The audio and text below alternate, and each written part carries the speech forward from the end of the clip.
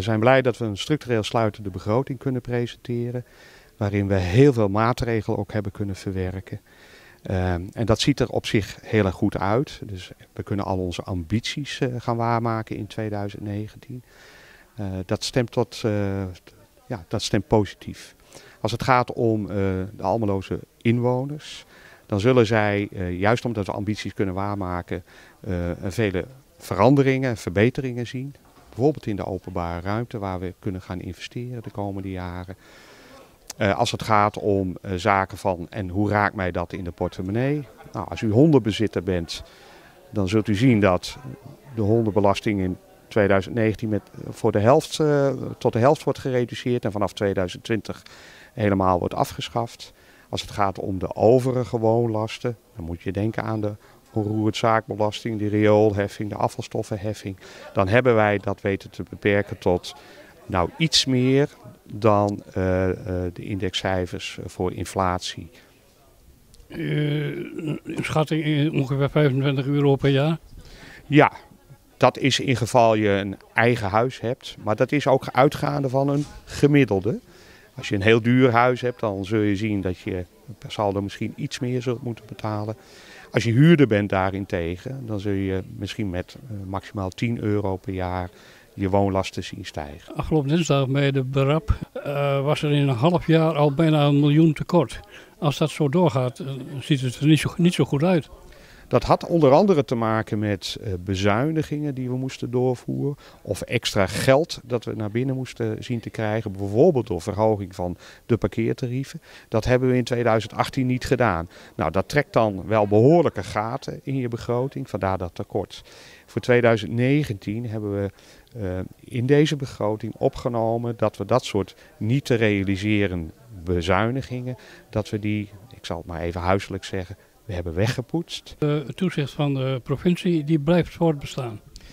Ik ga ervan uit, uh, gelet op de wijze waarop we hem nu presenteren en in elkaar hebben gezet, dat het preventief toezicht in 2019 in stand blijft. Um, dat heeft alles te maken met uh, uh, een, een, iets langer, langer pad dat we gaan bewandelen als het gaat om het herstelplan. Maar we blijven nog steeds binnen die afspraken. Dus uh, wat dat betreft is er geen man overboord. Uh, en ach, uh, het, het, preventief toezicht heeft ook niet nadelig gewerkt voor de gemeente Almelo. Het belangrijkste is dat we in 2019 heel veel ruimte hebben ge gemaakt om onze ambities te kunnen waarmaken.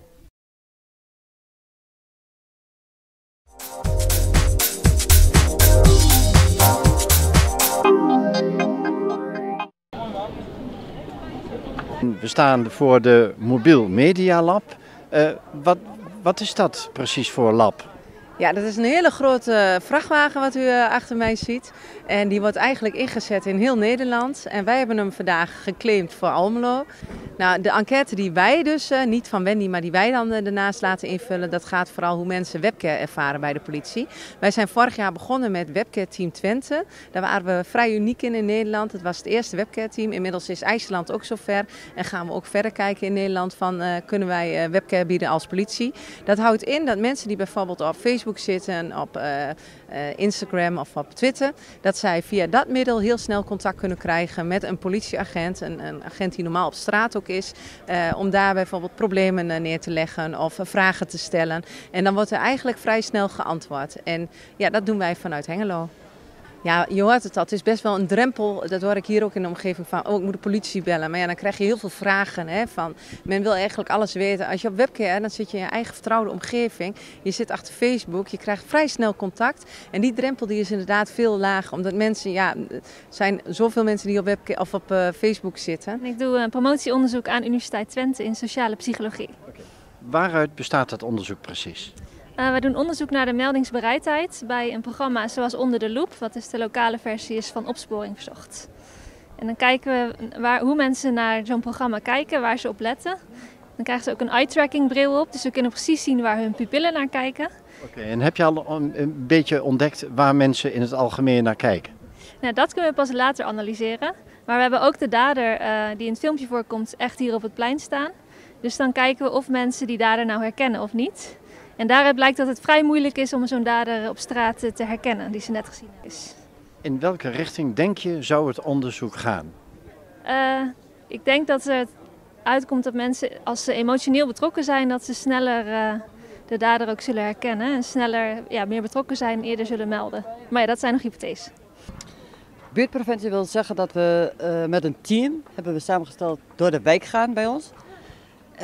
we kijken van, we, we stellen ons in verbinding met de politie. Op het moment dat we wat waarnemen, nemen we contact op met de politie. En die gaat vervolgens uh, het overnemen en wij kijken gewoon van waar is wat nodig. Wie of wat is Badje? Badje is inmiddels een volleerde politiehond, maar is in Almelo bekend geworden als uh, de politiepup. En mijn dochter die was helemaal gek van Badje. Die zegt, mam, daar moet jij wel op reageren. En ik denk, ja, dan moet ik wel een unieke reden bedenken. Nou ja, toevallig ben ik schrijfster, dus uh, ik zei van, ik kan wel een boek over Badje schrijven. En dat was reden genoeg. Dus wij zijn daar geweest tot grote vreugde van mijn dochter. Ja, en als je wat belooft, moet je dat, wat, moet je dat doen. En uh, zo is Badje er gekomen.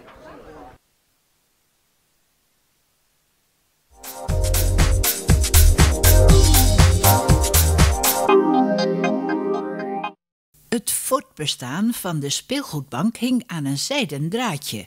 Stichting Propulser zorgt er nu voor dat de activiteiten kunnen worden voortgezet in de Schuttestraat in de Schuttevaar.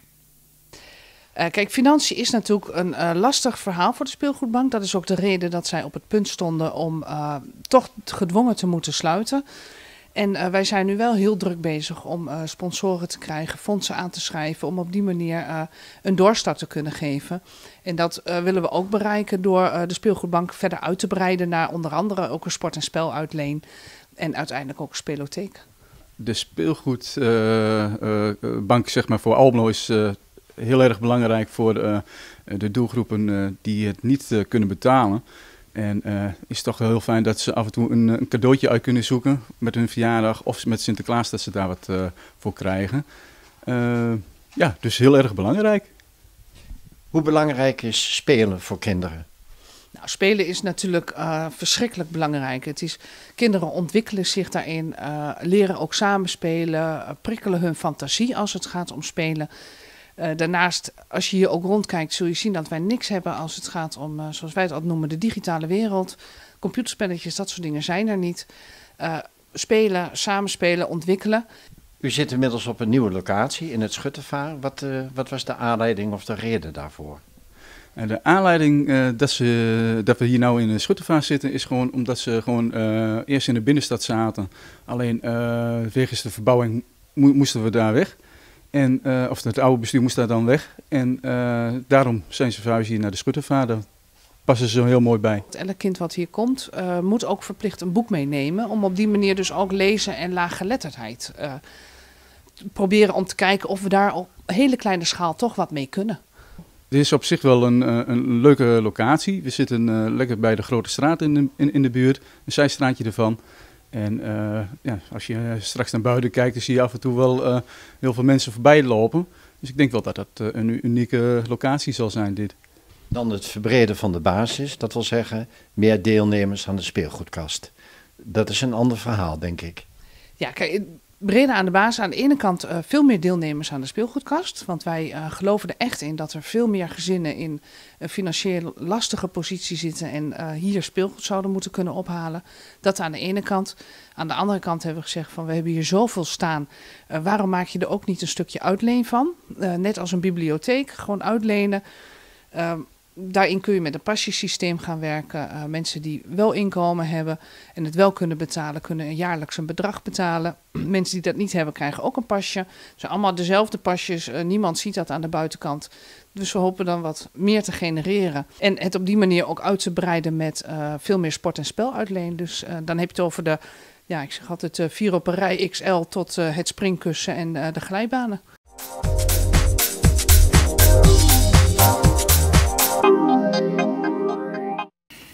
Commissaris van de Koning van Overijssel, Andries Heidema, schoof aan bij het ontmoetingsontbijt dat de start vormde van de week Kom erbij in inloop van de A. Kom erbij is de positieve draai die de organisatoren in Almelo aan de Week van de Eenzaamheid gaven. Zij brachten een keur van activiteiten op het gebied van sport, kunst, cultuur, concerten en theater bij elkaar.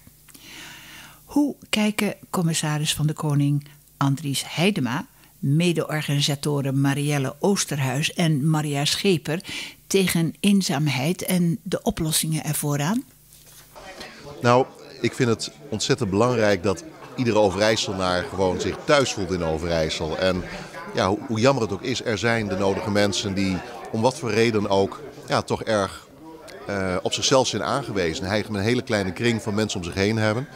Ja, en dan uh, zo'n dag als vandaag hier, uh, de inloop aan de A, de start van de week van Kom erbij. Ja, dat is zo mooi om ja, iedereen het gevoel te geven. Je bent thuis in Almelo, je hoort erbij. En nou, zoals nu, we zitten met elkaar even te ontbijten. Een hele diverse groep mensen. Ook allerlei organisaties die elkaar hebben ontmoet. Ja, dat is prachtig. Nou, ik zag een oproep op Facebook dat uh, Almelo wat wilde doen aan, uh, aan de eenzaamheid. En uh, ik denk dat vind ik een mooi initiatief. Dat sluit aan bij mijn werk. Ik werk zelf in een dagopvang voor ouderen. Dus hoe mooi is het dat jij um, um, met je kennis en kunde van je werk ook andere mensen kan helpen. En dat is het mooie van dit initiatief, want er zit geen leeftijdsgrens aan. Het is echt van 0 tot 100, kan bij ons aansluiten. En dat vind ik zelf heel erg prettig. Wij zijn met een heleboel vrijwilligersorganisaties, Avedan, ik ben, werk zelf bij de club. Wij hebben allemaal onze vrijwilligers aangeschreven met de vraag...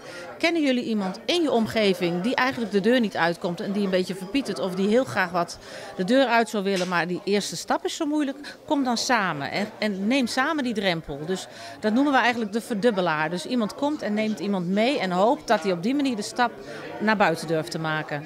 Ik vind het hier fantastisch en dit is natuurlijk nog maar de eerste dag... Uh, volgende week uh, zijn er nog heel veel activiteiten. Dat wordt ook overal wel gepubliceerd, die hele activiteitenkalender. Uh, ontbijten ook op andere locaties, activiteiten die openstaan, culturele activiteiten die er zijn. Dus we hopen dat daar heel veel mensen op af gaan komen en willen nog steeds een beroep doen op iedereen eigenlijk. Ook al ben je geen vrijwilliger, maar ken je iemand die eenzaam is en je ziet iets in het programma waarvan je denkt, hé, hey, misschien vindt mijn buurman dat wel leuk. Kom gezellig met je buurman kijken en buurten. En ja, op die manier maken we het heel simpel.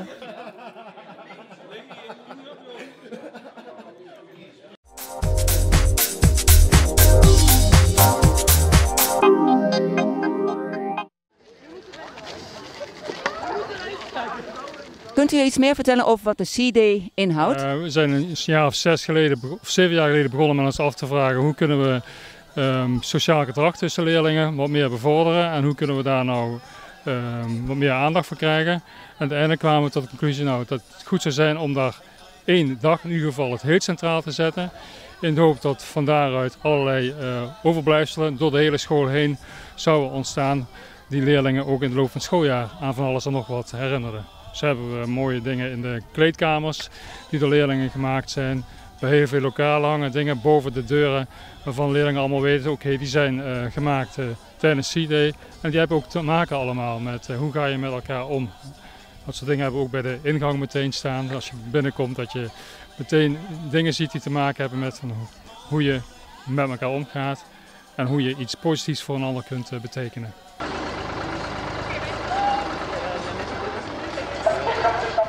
deze prachtige uitdossing aan, omdat we hier zijn voor de lipdub. Dus iedereen gaat gek verkleed, gek dansen. En zometeen gaan we op allerlei verschillende liedjes uh, ja, de school eigenlijk overnemen hier. De school is nou van 6V. Ja. Jullie gaan dit zelf ook allemaal filmen? Ja, wij gaan dit zelf allemaal filmen. Er is een cameraman. En uh, ja, we moeten het stuk of drie keer filmen voordat het helemaal goed is natuurlijk. En dan krijgen we een prachtig eindresultaat.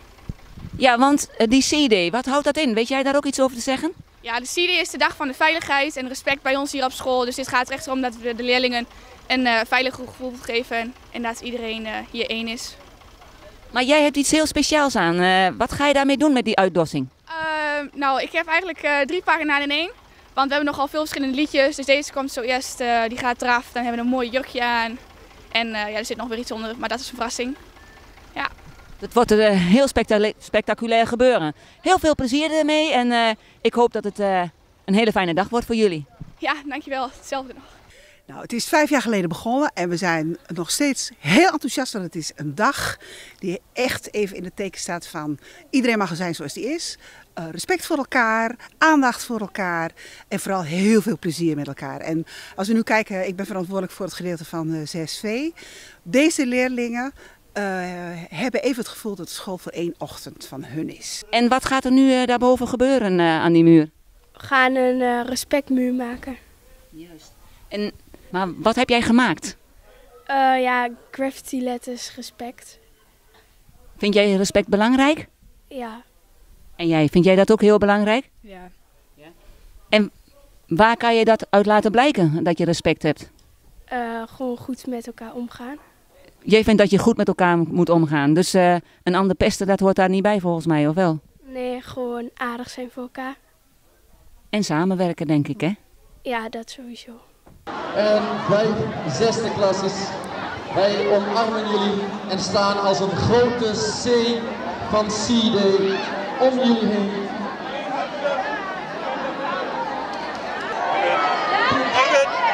Ja, ja, ja, ja, doe, doe, doe, En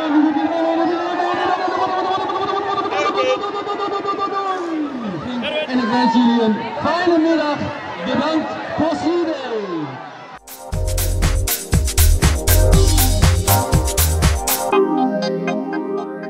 U bent 50 jaar keurmeester van de Duiven.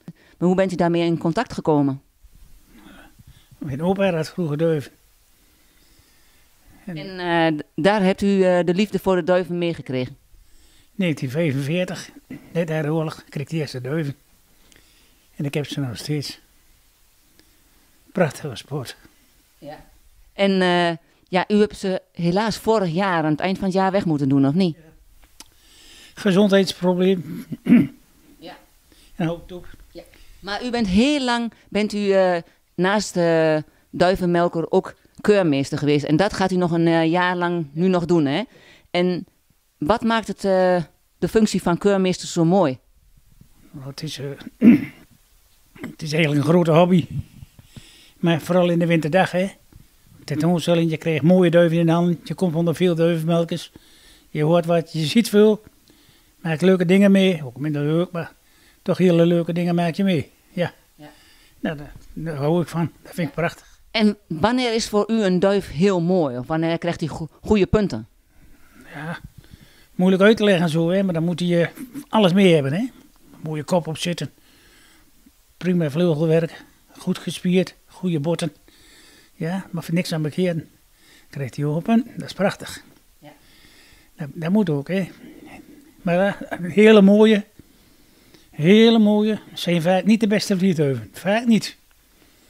Dus daar zit echt wel verschil in? Jazeker, jazeker. Nou, en uh, kom wel eens duiven tegen, dan denk ik, kijk, en, er is niemand die erin kan kijken, maar kom eens duiven tegen, dan denk ik, nou, tentoonstelling en dan achteraf, dan blijkt er een hele goede is, hè. Dan zit je ernaast, hè. Dat kan ook. Maar u doet dit werk al 50 jaar met heel veel plezier. En uh, ja, u uh, blijft niet alleen in Almelo, hoor ik, hè? Nee, nee er is hele land door, hè. Overal gezeten. Tot in Amsterdam en de Jordaan toe. Mooi, ja. Daar hebt u goede herinneringen aan. Café de Pijp, vergeet nooit. Prachtig, ja. Nou, ik hoor het wel. U hebt er uh, vele herinneringen aan. Maar u was ook een uh, goede duivenmelker en hebt ook wel mooie prijzen gewonnen, hè? Ja, Tuurlijk, dat is de, is de hoofdzaak. De, de, van is maar een betrekkelijk klein, kleine groep in Nederland. Hè. Ik denk dat, uh, nou, moet ik schatten, 70, 75 leden in heel Nederland. Dus die hadden actief zijn. Ja. Gewoon spelen en vliegen met duiven, dat is natuurlijk de hoofdzaak. Hè. Dat, is, dat is alles. Maar ook wel, dat, ja, dat moet ik ook eerlijk weten. Een hoop steun gaat van mijn vrouw mee. Ook veel moeten ontzeggen. Ja, met elkaar. Met vakanties kun je niet. Ja, dan gooi je in september of zo een paar dagen, maar in de zomerdag kun je niet weg. Al die dingen, dat is de, moet dan allemaal gebeuren, hè. De duivenmelker zit u in het bloed? Ja, het is niet anders. Ben ik mee geboren. Dan zou ik ook wel mee de hoek gewoon. Ja, want er is niet van komen en niet van gewoon, hè. Ja, zo is het. Ja, heel erg bedankt voor uw uh, interview. Ja, tot de volgende keer. Tot 60 jaar. Ja?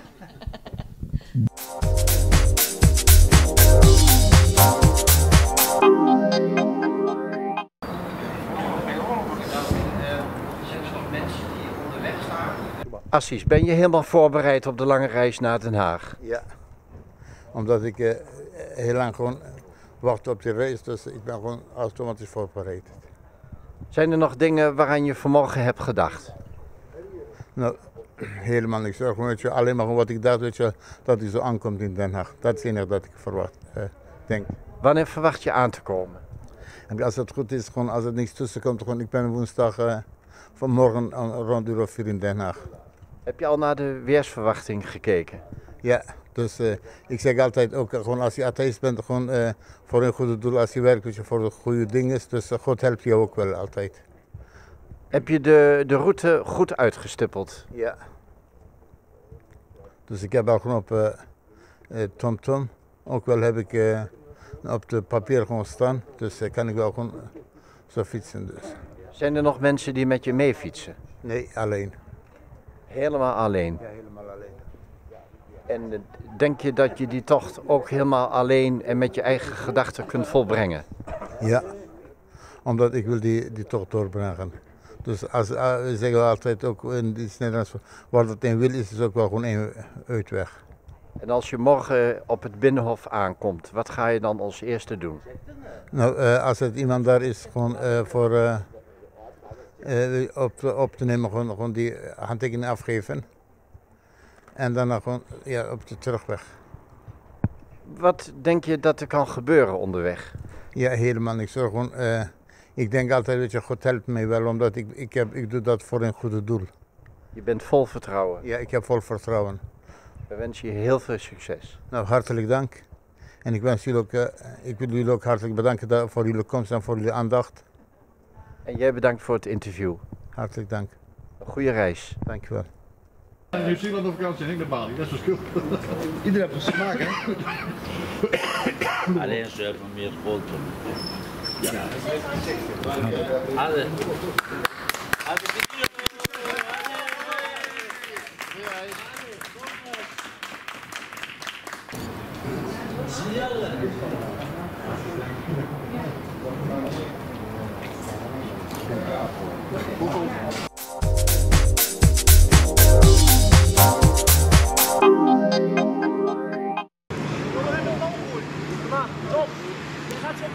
Ik ben uh, commercieel manager bij RGS. Uh, wij zijn een sloopbedrijf uh, wat gespecialiseerd is in renovatieslopen, transformatieslopen, maar ook totaalslopen zoals hier op de Indië-trein in Almelo. Ik heb het beeld van spierballen, zweet, uh, breekijzers en bier. Klopt dat beeld? nou, in zekere zin natuurlijk. Het is een, het is een vak waar, waar, gewoon het, waar veel spieren van nodig zijn, laat ik maar even zeggen.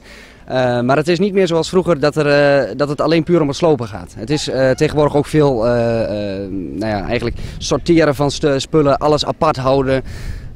het is niet meer dat je een kraan tegen een gebouw kunt zetten en dan en that's it. Wanneer zijn jullie op dit oude Indië-terrein klaar? Dat is nog niet helemaal helder. dat, dat moeten we zo meteen even aan de projectleider dan vragen. Maar die, er is natuurlijk een planning voor gemaakt. Maar we zijn al best een eind. Want de huizen hier achter ons, die zijn al, daar zijn alweer huizen gebouwd. Daar is vroeger ook uh, fabriekshallen gestaan en dat zit nu, ja, we zitten nu bij de laatste 4 hectare ongeveer bezig. Ik werk samen als projectleider, waaronder ook het uh, Indië-complex valt. Kunt u vertellen in het kort, als dat mogelijk is, wat er tot nu toe allemaal gedaan is op het Indië-terrein? Ja, dat kan zeker. We hebben uh, dit werk aangenomen in 2010. Vanaf 2010 uh, wordt er in verschillende fases gesloopt. In eerste instantie wordt ja, al het asbest gesaneerd, gebouwen gestript, en zodra alle asbestsanering gedaan is, vrijgegeven is door een onafhankelijk laboratorium, wordt het uh, pand gesloopt tot op het maaiveld. Nou, daarna, na het maai, als het bovenbouw gesloopt is, wordt alle puin afgevoerd. En in de eerste fase zijn ook al, is al het puin hier ook op locatie gebroken. Wat ook weer gebruikt wordt binnen het terrein en het complex voor de infrawerkzaamheden. In welke fase bevinden de werkzaamheden zich nu? We zitten nu in uh, fase 3 van het complex. Dus dit is het uh, einde van uh, de sloopwerkzaamheden dit jaar. Wanneer zal het project klaar zijn? Uh, dat zal ongeveer medio volgend jaar april zijn. Welke moeilijkheden bent u tot nu toe tegengekomen? Ehm, heel veel diefstal. Dat valt wel heel erg op in deze regio, of in Almelo. Het is ja, alle koperen leiding en ja, vernielingen. Heel veel jonge mensen die over de daken klimmen en rennen. Ja, het is eigenlijk onverantwoord, maar het is heel lastig. We hadden zelfs beveiliging, camera's hier staan, maar die breken ze nog af en die slaan ze nog kapot. Er zijn tegenwoordig strenge milieueisen. Heeft u daar last van of gemak van? Ja, we hebben alle certificaten namens RGS, dus uh, ja, wij werken altijd netjes conform alle wet en regelgeving. En vooral met asbestsanering, ja, er wordt ook streng gecontroleerd. En we hebben ook regelmatig audits van uh, onze certificerende instanties. En uh, ja, daar voldoen wij allemaal aan. En als we het niet goed doen, dan wordt ons certificaat ingetrokken. Dus.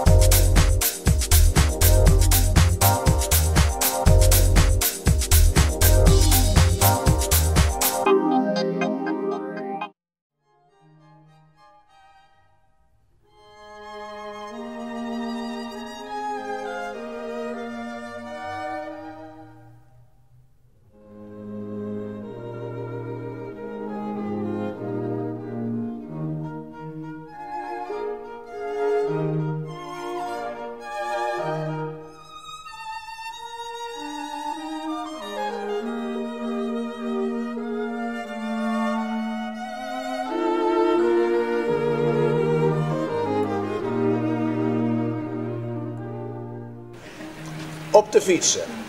Mangs, als ik op de fietsen fietsen, dan denk ik wel eens.